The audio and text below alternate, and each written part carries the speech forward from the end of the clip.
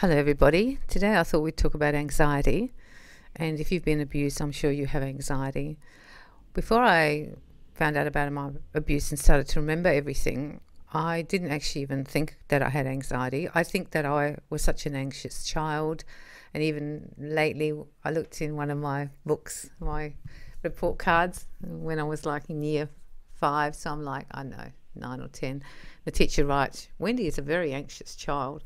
And I'm like, yeah, now I know why Wendy was an anxious child. But I didn't recognize it because I had it for so long and I'd learnt to sort of live with it. But once I realized what happened, it was really good in a way because then I went, oh, I have anxiety. And that was easy then. It was like, oh, that explains what's happening. I call it free floating. It's always there and you feel wired. Anxiety can really interrupt your life, it can make it very hard whether you recognize it or not, if you've got it, it'll just get in the way of your eating, your sleeping, uh, your work, how you relate to people, your ability to do things.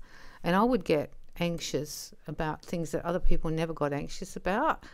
Uh, and very over anxious at times. Of course, it was tied into back there, but I didn't realize that until now. And I want you to start looking at that too. You can make a list of things that you get anxious about that you think that most other people don't get so anxious about. It'll come to the point where you get such anxiety, it's almost like you're not in your body, and you'll know that feeling, I know. And you'll also feel some kind of terror around it. Can kind of anxiety can go really into a very strong place to how you feel. This is from back there, it's from the abuse. Uh, when you were being abused, you got very anxious and it was very fearful and terrorizing, and you were petrified. And then afterwards, you stayed in that kind of state of anxiety because you never ever knew when it was going to happen again. And that's what we're talking about that perpetual that you're switched on all the time, waiting for the bomb to drop, so to speak. You have survived this, okay? If you're listening to this, you're probably grown up. So you've survived this, and now we just need to deal with the actual anxiety. You can go to your doctor, and there's medication for it. You can use herbal things. Some people go to hypnotherapy, and that helps. I use emotional freedom tapping to tap it out, and I find that really, really works for me. But you have to work, see what works for you, and then find something to get rid of it.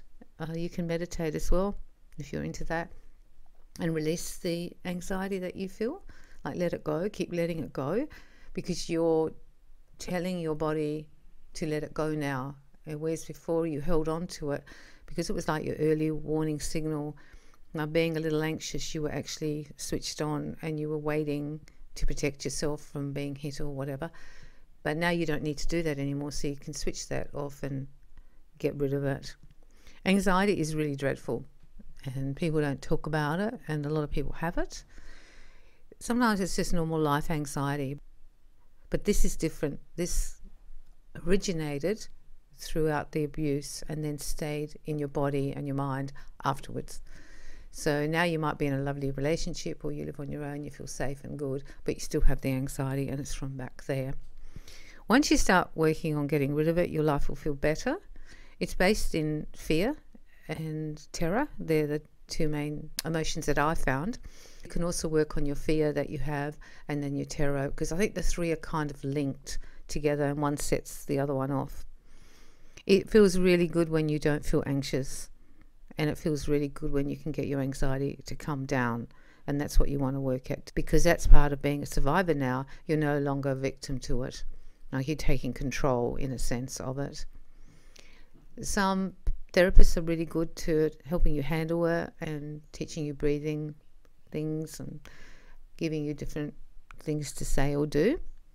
I think you could write it out too. I think you could get out your system by writing. So I do a little bit of journaling about I'm really anxious about this and that, and it's ridiculous, and I feel like I'm crazy because I get so anxious and I hate it, and just let it all out. Like just say it, you know, because that's how you actually feel and get it out. You will also have anxiety, which will tip into like phobias that you'll be anxious about going to the doctor or having medical tests. You'll be super anxious about dentists. You might be anxious if you had to have a massage. You'll be anxious about standing in front of a crowd and speaking. because you might have had a verbal abuser you lived with, emotional abuser, sort of shut you down. So there's lots of types of anxiety, and once you start working out what you get anxious about, where it is, then you can get rid of it and release it and get stronger. You can also do the alternate thing, which is telling yourself that you're calm. I'm calm, I can do this, it is going to be fine. Because anxiety is a very negative experience and creates negativity around you.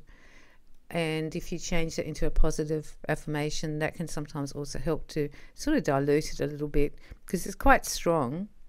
You'll have days when it's so bad you you almost feel like you're going to throw up, and some people actually do throw up with anxiety. They get nausea. These are the things that you need to look at to get better. And knowing where it comes from is kind of a relief because you just know you can get rid of it. Many, many people suffer this. Uh, many, many people don't talk about it. They just live that horrible, quiet, crazy internal world that they don't speak about and just go and head out into the world and try to act normal. But I'm doing these podcasts because you know what I'm talking about, because you feel it too.